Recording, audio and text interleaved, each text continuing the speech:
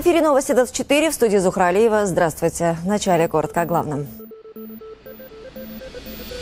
Пассажироперевозки, забастовки, разногласия. Сегодня формат обсуждений проходил в форме общественных слушаний в Доме дружбы. Больше никаких очередей. Республиканские поликлиники переходят на новый формат обслуживания. «Живи без боли». Благотворительный концерт в поддержку детей, страдающих онкологическими заболеваниями, прошел в Кумырском театре. Сегодня Владимир Путин выступил с ежегодным посланием Федеральному собранию. В мероприятии принял участие и руководитель Дагестана Владимир Васильев. Отметим, что в этом году церемония стала 15-й для президента России. Помимо депутатов и сенаторов были приглашены также члены правительства и Госсовета, председатели Конституционного, Верховного и Высшего арбитражного судов, представители Общественной палаты и многие другие. Глава государства озвучил приоритетные направления работы властей, рассказал об основных проблемах и путях их решения. Ветер, разгулявшийся накануне в Дагестане, нанес колоссальные ущербы в городах и районах республики. Так, в Тарумовском районе 16 населенных пунктов остаются без электроэнергии. Сегодня на территории Дагестана остались отключенными от электроснабжения 107 населенных пунктов четырех муниципальных образований – Буйнакского, Дербенского, Левашинского и Гергебельского районов. Это около 43 тысяч человек. В настоящее время идут аварийно-восстановительные работы. К ликвидации последствий происшествия привлечено 37 аварийных бригад и 40 единиц техники. Организация пассажирских перевозок на маршрутных такси – одна из самых обсуждаемых тем в столице Дагестана за последний месяц.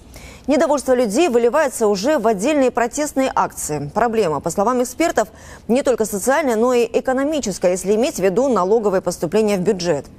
Отчего и появилась необходимость в обмене мнениями представителей разных структур, отвечающих за порядок на транспортном рынке. С общественных слушаний сюжет Патимат Ханаповой. Повышение тарифа, забастовки водителей, маршруток и теневой транспортный бизнес. Сегодня обсуждение по этим злободневным темам проходило в форме общественных слушаний в Доме дружбы. Мнения, разногласия и доводы. Поговорить о проблемах отрасли пришли чиновники Минтранса, представители профсоюза, общественники, журналисты и сами водители. У каждого здесь своя правда. Позиция Министерства транспорта не оригинальна. Главное – исполнение закона. Дают понять, что ценевая политика не их стезя, и вмешиваться они туда не намерены. Это позиция Министерства транспорта, что нужно стоять строго на букве закона. Законодатель сегодня полностью описывает процесс организации перевозок в Российской Федерации. Значит, сегодня закон стоит на страже здоровья и безопасности пассажиров. И мы всячески поддерживаем и будем неукоснительно выполнять и требовать выполнения законодательства Российской Федерации. К ним близка позиция Ространснадзора. Безопасность пассажиров превыше всего. Изношенность транспорта и отсутствие контроля за водителями – причина дорожных происшествий. Средний возраст маршрутных такси по Махачкале составляет 13 лет. И при том, по словам экспертов, ни одна компания из восьми действующих по городскому округу стопроцентно закону не соответствует. Мне кажется, надо в корне менять. Надо нам создать предприятие действительно в классическом его варианте, у которого все есть. Если пока это не будет, пока это не будет, мы будем очень часто собираться. Это и еще, э, я думаю, все вы согласитесь, нужны новые комфортабельные автобусы взамен вот этих. Если эти же переводчики, например, имеются в виду 6, 7, 8, они могут это делать, ради бога, мы приветствуем. И Ространснадзор к, к ним вопросы не будут. Если у них будут условия для проведения преддействия медосмотра, если у них будут условия проведения преддействия технического осмотра, если у них будут билеты, если у них есть мойки, какие вопросы к ним? Нету. Пожалуйста, если это будет, вопросов нету. Обсуждения и встречи идут своим чередом, но при этом цена на проезд в маршрутном такси до сих пор окончательно не зафиксирована. Несмотря на разные взгляды и неоднократные конфликтные ситуации, некоторые перевозчики отказываются поднимать тарифы, обвиняют надзорные ведомства в лоббировании интересов определенной компании.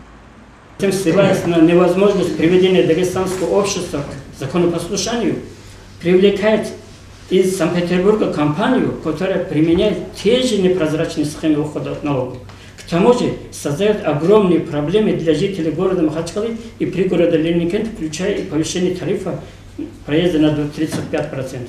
Тем временем обоснованность поднятия тарифа будет проверять антимонопольная служба, в частности, на предмет наличия сговора между перевозчиками. При подтверждении данного факта транспортным компаниям, поднявшим проезд, грозят штрафные санкции. Патимат Ханабова, Гаджи Магомедов, телеканал ННТ, Махачкала, Новости 24. Яхты и чистые пляжи в Махачкале. Все это вполне реально, считает новый глава города Салман Дадаев и министр туризма Дагестана Расул Ибрагимов. Накануне состоялось очередное совещание, посвященное туристическому потенциалу столицы республики. По словам Ибрагимова, имеющиеся причалы пока не совсем подходят, так как в порту стоит множество кораблей, которые находятся там на ремонте. И они будут мешать заходу круизным судам. Сейчас а совместно с э, имущественным комплексом подберем э, участок именно на том месте, где сейчас пляж не оборудован.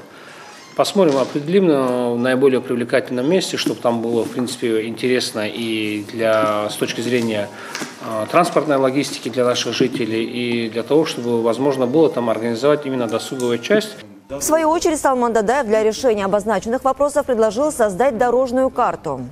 Поликлиники Махачкалы нашли способы избавиться от очередей благодаря разделению потоков больных на тех, которым нужна неотложная помощь, кто пришел по записи, и на тех, кто обратился за получением справок.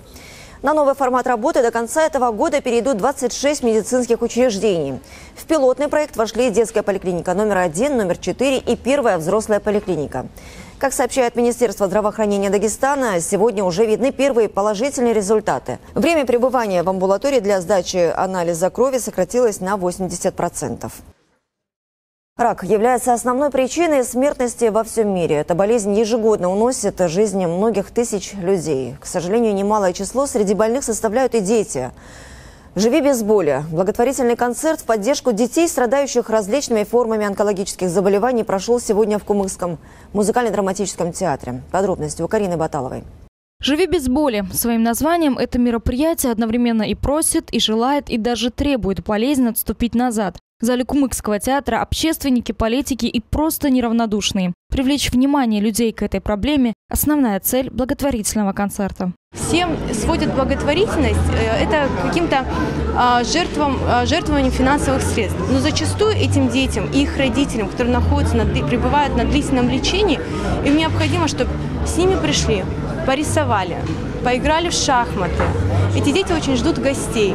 Рак лечится, тому немало примеров, но цена высока. Это касается и дорогостоящего лечения, и внутреннего состояния ребенка и его близких. Будучи подростком, я сама перенесла онкологию, и сейчас я пытаюсь наладить у нас в республике работу пациентской организации. Я считаю, что именно вот э, поднятие этого вопроса, именно популяризация этой темы, она очень важна, чтобы у нас в республике преодолеть этот барьер страха перед раком.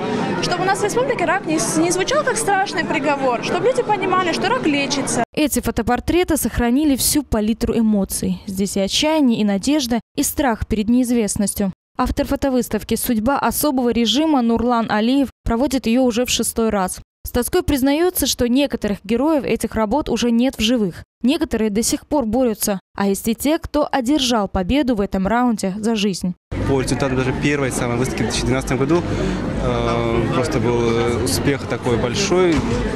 Отделение онкогематологии был даже переизбыток в этих волонтерах, которые приходили с детьми и начали играть. Помочь детям можно было и поучаствовав в аукционе поделок пациентов детского онкогематологического отделения имени Кураева. Все средства, собранные в результате благотворительного концерта, пойдут на оснащение и приобретение расходных материалов для отделения онкологии. Карина Баталова, Мурат Бекбарзов, телеканал ННТ, Новости 24, Махачкала.